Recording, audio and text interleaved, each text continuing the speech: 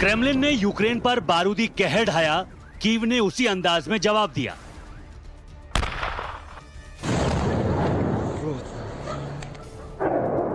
रूस के हमलों का जवाब अमेरिका और बाकी यूरोपियन यूनियन के देशों ने भी दिया। फ़र्क सिर्फ़ इतना है कि मॉस्को ने यूक्रेन पर बम मिसाइल गिराए। बदले की कार्रवाई में अमेरिका, जर्मनी, फ्रांस और यूरोपीय संघ समेत कई देशों की तरफ़ से आर्थिक, सामरिक, राजनयिक और सांस्कृतिक पाबंदियों की बमबारी हुई। तो आइए सबसे पहले आपको बताते हैं कि इस मोर्चे पर किस देश की तरफ़ से रूस पर अब तक किस तरह हमले किए गए हैं। अमेरिका, रूस के दो सरकारी बैंकों के यूएस, यूरोप में कारोबार पर रोक। अमेरिका, ब्रिटेन में रूस की सबर बैंक, वीटीबी बैंक पर बंदिशें ब्रिटेन, पाँच रूसी बैंकों, तीन रूसी अरबपतियों पर पाबंदियाँ। ऑस्ट्रिया, सबर बैंक यूरोप पर मोरेटोरियम लगाया।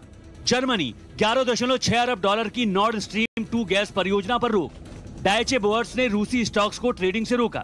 जापान रूसी बॉन्ड पर रोक के साथ कुछ लोगों की देश में एंट्री बैन यूरोपियन यूनियन तीन सौ इक्यावन रूसी राजनेताओं, रक्षा और बैंकिंग सेक्टर के 27 रूसी अफसरों पर प्रतिबंध। यूक्रेन रूस के तीन सौ इक्यावन नेताओं की एंट्री पर रोक। ऑस्ट्रेलिया रूसी सुरक्षा परिषद के आठ सदस्यों की देश में एंट्री पर रोक। नॉर्वे सरकारी कंपनी इक्विनोर रूस के उपक्रम का विनिवेश करेगी। कीमत करीब 280 करोड़ डॉलर दक्षिण कोरिया रूस को इलेक्ट्रॉनिक सेमीकंडक्टर, कंप्यूटर आईटी व कम्युनिकेशन उपकरण सेंसर लेजर समेत कई उपकरणों के निर्यात पर सख्ती करेगा।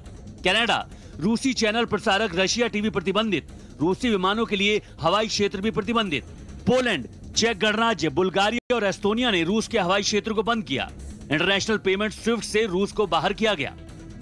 दुनिया की सबसे बड़ी कंटेनर शिपिंग लाइन मस्क ने रूस से जाने वाली और उसके लिए आने वाली डिलीवरी बैन की। गूगल ने रूसी मीडिया आरटी और स्पुतनिक के यूट्यूब चैनल को बैन किया। फेसबुक की पेरेंट कंपनी मेटा ने रूसी मीडिया पर प्रतिबंध लगाए। अब रूस फेसबुक प्लेटफॉर्म पर एड से होने वाली कमाई नहीं कर पाएगा।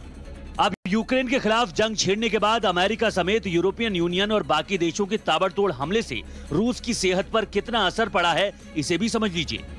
रूस के सेंट्रल बैंक ने अर्थव्यवस्था को बचाने और फाइनेंशियल स्टेबिलिटी के लिए मुख्य ब्याज दर 9.5 फ़ीसदी से बढ़ाकर 20 फ़ीसदी की। ये पिछले 100 सालों में सबसे ज़्यादा है। महँगाई पर काबू पाने के लिए ये कदम उठाया गया है। सोमवार को एक डॉलर के मुकाबले रशियन करेंसी रूबल 30 फ़ीसदी कमज़ोर हुई।